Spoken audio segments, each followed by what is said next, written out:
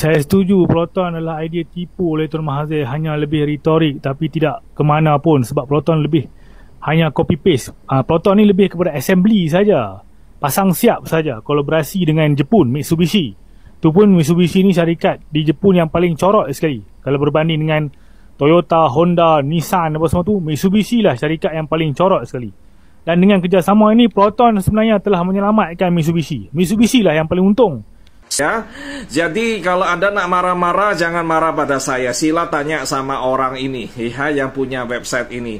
Dia cakap di sini mobil nasional yang menggunakan EV itu yang sudah di di apa sudah dipertunjukkan atau akan dipertunjukkan ya dipertontonkan pada hari Jumat. Saya tak tahu di hari Jumat kapan ini tulisan di sini 30 Juli. Berarti sudah lewat ya.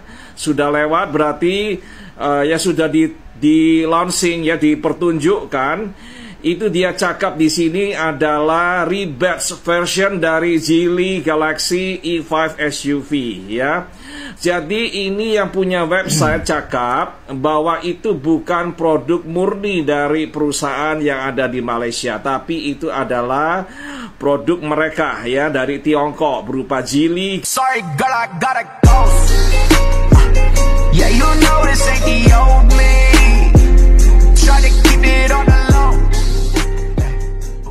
Assalamualaikum warahmatullahi wabarakatuh. Halo teman-teman, jumpa lagi di Aryan M Channel. Oke, buat teman-teman yang klik video ini seperti biasanya Saya harapkan mudah-mudahan teman-teman selalu dalam kondisi sehat walafiat.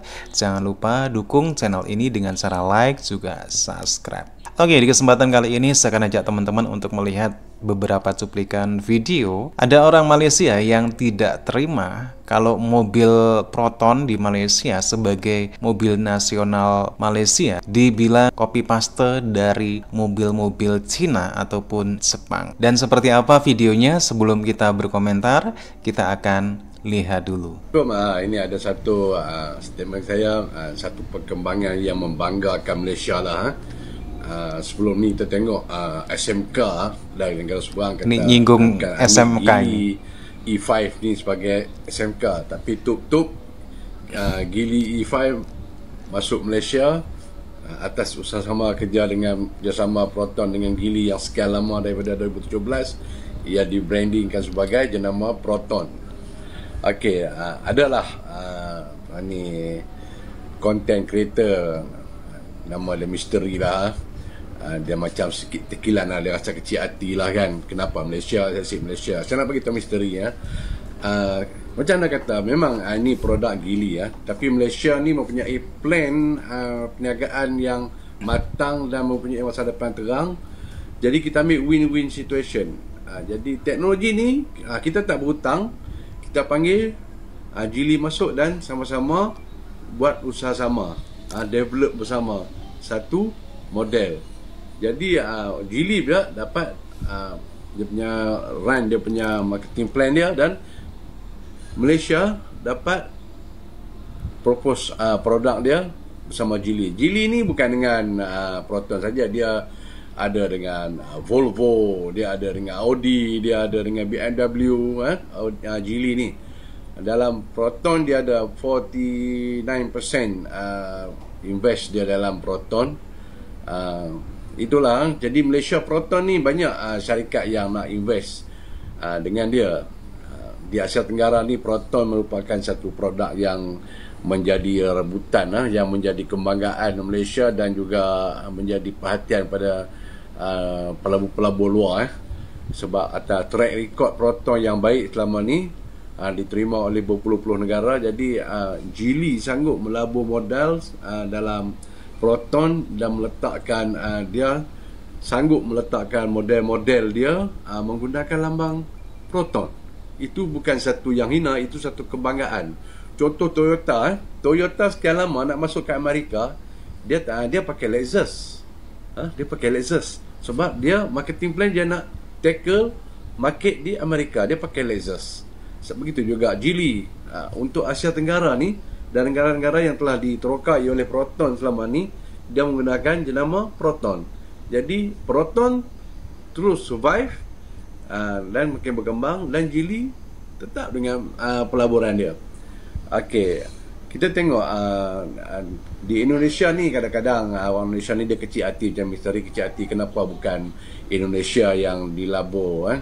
Uh, kita bukan nak kata lah SMK ni dah lama dah kita dengar daripada Pak Jokowi dulu. Dah pun bidang dah komplek SMK sampai naik lalang kan?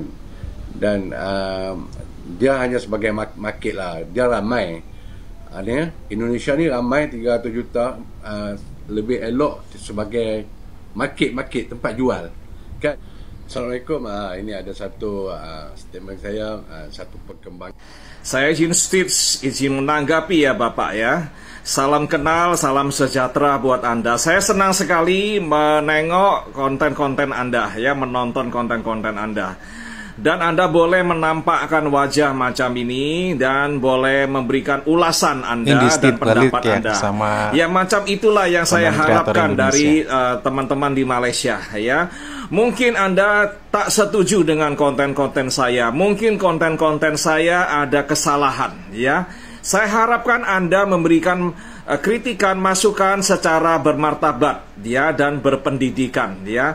Jadi jangan membuli saya, jangan memarahi saya ya. Jangan menghina fisik saya ya. Jadi tolong gunakan cara-cara yang elegan, yang pandai untuk mem mem membalas konten-konten saya. Tak apa-apa ya. Jadi terjadi dialog yang sehat, yang baik-baik antara kedua pihak ya. Dan saya buat konten ini bukan untuk menghina siapa pun, bukan untuk menciptakan permusuhan di antara dua warga negara. Tapi kita nak cakap fakta ya. Kita harus jujur kepada uh, penonton dari konten-konten kita dan jujur kepada diri kita sendiri ya. Soal mobil nasional ya ini merek ini jenama ini yang terbaru berupa EV ya kereta menggunakan uh, uh bateri ya listrik 100% ya ini saya ambil dari website paultan.org. Paultan.org ini website dari Malaysia. Pemiliknya adalah orang Malaysia. Website ini spesial buat mengulas soal-soal kereta ya. Jadi kalau Anda nak marah-marah jangan marah pada saya. Sila tanya sama orang ini ya yang punya website ini. Dia cakap di sini mobil nasional yang menggunakan EV itu yang sudah di di apa sudah dipertunjukkan atau akan dipertunjukkan ya dipertontonkan pada hari Jumat. Saya tak tahu di hari Jumat kapan ini tulisan di sini 30 Juli. Berarti sudah lewat ya. Sudah lewat berarti uh, ya sudah di di launching ya dipertunjukkan itu dia cakap di sini adalah rebadge version dari Geely Galaxy E5 SUV ya. Jadi ini yang punya website cakap bahwa itu bukan produk murni dari perusahaan yang ada di Malaysia, tapi itu adalah produk mereka ya dari Tiongkok berupa Geely Galaxy E5 yang di rebadge, diganti jenamanya, diganti logonya. Kalau itu arti dalam bahasa Inggris. Nah, sekarang saya mau tanya kepada Bapak, apakah Bapak setuju dengan uh, artikel ini dalam website ini? Ya, harus jujur pada diri sendiri Bapak ya. Itu produksi dari Tiongkok atau dari Malaysia ya. Desain dari Tiongkok atau desain dari Malaysia. Engine dari Tiongkok bateri dari Tiongkok atau dari Malaysia ya. Dan kemudian apakah itu dirakit di Tanjung Malim di Malaysia atau dirakit di Tiongkok didatangkan ke Malaysia dalam kondisi CBU completely built up Nah itu Bapak tolong berikan bagikan kami fakta dan jawaban ya. Kalau itu didatangkan dari Tiongkok berupa CBU completely built up Macam mana itu bisa di kita cakap yang adalah mobil nasional negara Anda atau kereta nasional negara Anda ya. Karena kalau completely built up itu uh, sepatutnya kita sebut mobil asing bukan mobil nasional ya. Jadi mohon maaf saya bukannya mencari uh, masalah atau polemik atau permusuhan tapi kita nak cakap jujur. Apa definisi dari mobil nasional atau kereta nasional ya? Jadi Bapak tolong jawab dengan jujur Apakah ini mobil sudah diproduksi di Malaysia Diproduksi sendiri atau bukan Ya Kalau engine masih dari Tiongkok, lalu desain masih dari Tiongkok, semua elektronik masih dari Tiongkok, ya.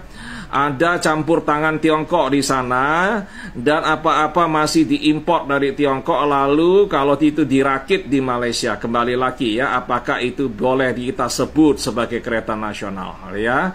Itu harus kita perbincangkan dan kita perdebatkan secara terbuka dan jujur ya kalau Anda yang menonton ini dari Malaysia, enak cakap, itu mobil nasional kami atau kereta nasional kami. Meskipun dalam kondisi diimport dalam kondisi CBU is okay ya. Itu hak kalian untuk bercakap ini mobil nasional kami ya. Itu hak anda ya. Dan kami menghormati kami warga Indonesia tidak mempermasalahkan itu ya. Tapi jangan marah-marah dong ya. Jangan marah-marah pada kami kalau kita menunjukkan ini dibuat di Tiongkok ya. Didatangkan berupa CBU lalu jenama diganti, lalu uh, apa uh, jenama diganti, logo diganti, ya. Dan kalau kami cakap itu dan itu adalah fakta macam yang dimuat di website ini, di di publish di website ini, ya jangan salahkan kami, cakap kami memfitnah, kami menghina dan lain-lain ya. Itu adalah fakta. Anda mau mengakui atau tidak ya. Kalau Anda mau mengakui itu sebagai mobil nasional ya itu hak Anda ya, tapi kami harusnya punya kebebasan untuk memberikan pendapat bahwa mobil ini sebenarnya hanya rebadge ya, ganti merek ganti jenama, ganti logo ya. Dan bukan sebenar-benarnya tidak bisa didefinisikan sebenar-benarnya sebagai mobil nasional negara mana pun kecuali mobil nasional mobil dari negara asalnya ya. Itu pendapat kami. Suka atau tidak suka, setuju atau tidak setuju Anda uh, tidak boleh membuli kami dan marah-marah kepada kami. Kami berhak untuk berpendapat ya beropini sesuai dengan realita dan fakta ya. Kalau Anda tetap mau bangga ini adalah mobil nasional kami silakan kami hargai itu ya. Cuman jangan marah-marah kepada kami. Kalau kami cakap ini semua cuman diganti nama dan cuman diganti logo, logo ya aja. per artikel yang ada di paultan.org. Ini yang kita ambil ya, kita jadikan bukti ya. Jadi teman-teman semua santuy aja, santai ya, nggak perlu marah-marah. Terutama teman-teman di Malaysia ya, kita juga nggak pernah marah-marah kalau kalian cakap soal mobil Timor, SMK dan lain-lain. Kami santai aja. Kenapa sih kalian harus begitu uh, seriusnya gitu, tegang ya? Begitu seriusnya, begitu gampang koyak mengenai masalah mobil nasional ini ya.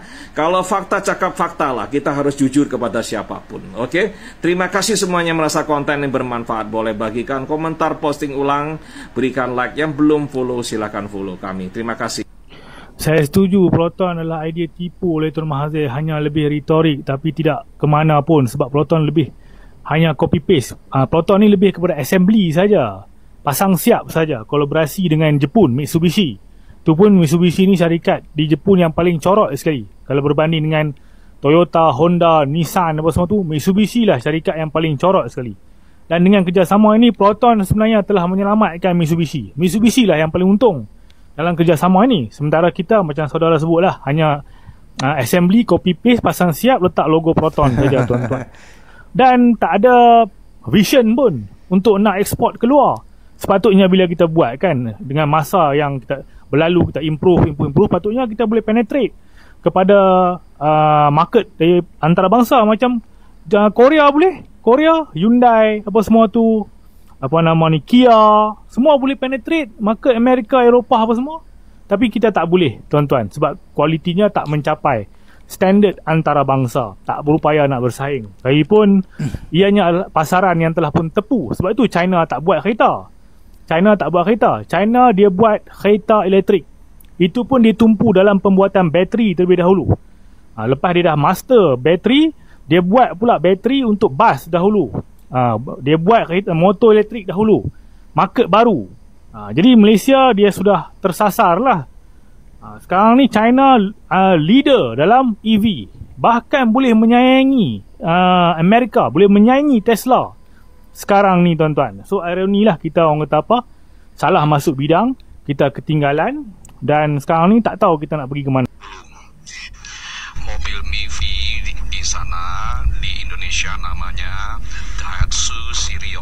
Daihatsu Sirion. Oke. Lalu engine masih dari Daihatsu. Rancang bangun macam mana punya sendiri atau dari Daihatsu itu tengok. Ada bimbingan, ada petunjuk, ada saran dari Daihatsu dan Toyota ya. Biarpun orang sendiri yang sepertinya merancang tapi itu teknikal semua ada petunjuk dan arahan dari Daihatsu dan Toyota. Oke, ini dari Wikipedia sumbernya aja saya ambil. Generasi ketiga di negara kami disebut Daihatsu Sirion. Di tempat kamu namanya Mivi. Jadi pada hakikatnya itu mobil dan mobil mobil Jepang yang diproduksi di negara Anda dijual di negara kami dengan nama Daihatsu Sirion. Oke, itu mobil Jepang. Buatan buatan negara Anda tapi mobil itu mobil Jepang. Pada hakikatnya teknologi dari Jepang. Nah diakui teknologi Jepang. Engine pun dari Daihatsu ya. Di Wikipedia kita bisa tengok semua informasi ya jadi saya tak tahu apa boleh dikata ini mobil nasional. You mau cakap ini mobil nasional itu hak Anda. Ya, kami tidak boleh mengganggu gugat itu hak Anda mencakap mobil nasional. Tapi di negara kami namanya bukan mobil nasional Anda, tapi Daihatsu Sirion. Oke, sudah cukup jelas. Tak payah koyak, tak payah marah-marah. Terima kasih. Bangga kepada kereta nasional boleh, ya tapi kalau cuman bisa berjualan di negara sendiri itu pun dapat sokongan banyak sekali uh, fasiliti dari kerajaan dan harganya boleh murah tapi tak bisa jual di luar negeri. Ya tak laku. Buat apa bangga? Apa yang mau dibanggakan? Di Indonesia tak laku. Di UK pun sudah tak jualan tak laku. Di Australia tak laku ya. Mau jual di mana? Pakistan pun juga sekarang agak susah. Ya Bangladesh, eh, mereka tak ada duit. Ya negara susah karena banyak sekali demo sekarang ya, ekonomi tak baik. Eh, lalu mau jual ke Thailand, orang Thailand pun tak mau. Ya orang Vietnam juga ada mobil nasional sendiri, kereta nasional mereka sendiri, mereka beli kereta nasional mereka. Mau jual ke Indonesia nggak laku. ya kami tak suka uh, uh, merek-merek yang tidak jelas ya apakah ada after sales service kalau rusak macam mana ada spare part tak itu yang paling penting. Kalau jual balik second harga rugi tak? Inilah kondisi di negara anda. Ya mobil-mobil tua banyak di sana. Ya mobilnya mereknya ya itu kalau nggak itu, itu. Ya si Pero-Pero si Proto-Proto. Proto-Proto mobilnya model-model lama-lama begini nak, nak beli lagi sudah tak ada duit ya mau kredit lagi berat banyak cicilan macam-macam nah beda di negara kami ya di negara kami banyak jenama jenama berbagai negara ya Jepang, Korea, China dan lain-lain ya mobilnya keren-keren kami beli mobil itu kredit ada 9 tahun 5 tahun kredit 5 tahun. 10 tahun pakai kita sudah jual kita tak mau ya. Jual kita beli yang baru lagi. Makanya mobil kita di jalanan kereta-kereta kita itu relatif look new ya. Look new dan juga nampak keren-keren mobil kita bagus. Ya tak ada macam di sana kereta-kereta tua motosikal tua masih dipunah ini di Surabaya ini ini foto ini di Surabaya ya di Bundaran Waru tengok ini motosikal ya motosikal di negara anda ya. Ini ke motosikal ini motosikal macam motosikal bapak saya. Sudah tampak kuno ya tampak lama sekali. Ya di negara kami sudah jarang tak tengok motosikal macam ini ya di Indonesia kita guna motosikal yang keren-keren yang baru-baru banyak yang pakai elektrik pakai listrik EV ya banyak juga model-model baru otomatis ya kereta-kereta lama motosikal lama begini sudah tak pakai tak guna ya itu bedanya meskipun negara kami miskin jangan dihina karena di negara kami orang-orang yang lebih mampu orang-orang yang kaya boleh beli mobil bagus-bagus baru-baru mau mereknya terkenal oke teman-teman ya demikian beberapa cuplikan video di mana salah satunya ada orang Malaysia yang tak terima kalau mobil Proton yang biasa disebut sebagai mobil nasional Malaysia itu hanyalah sekedar copy paste dari mobil produk produk luar negeri baik itu Cina ataupun Jepang yang hanya ganti logo saja. Tetapi kalau kita melihat ya apa yang ditegaskan oleh orang Malaysia tadi bahwasanya Proton itu sebagai mobil nasional Malaysia itu tak lebih hanya sekedar copy paste saja. Sepenuhnya adalah buatan Pang ataupun Cina. Jadi Malaysia hanya mengganti logo aja yaitu sebagai merek Proton. Teknologinya sendiri itu adalah teknologi Cina ataupun teknologi Jepang, bukan teknologi Malaysia. Inilah yang nggak dipahami oleh orang Malaysia yang menyangkal, yang tidak terima kalau dibilang Proton itu hanya sekedar copy paste. Oke teman-teman ya, bagaimana nih menurut teman-teman? Silahkan teman-teman bisa berkomentar. Jangan lupa like, subscribe channel ini. Terima kasih dan wassalamualaikum warahmatullahi wabarakatuh.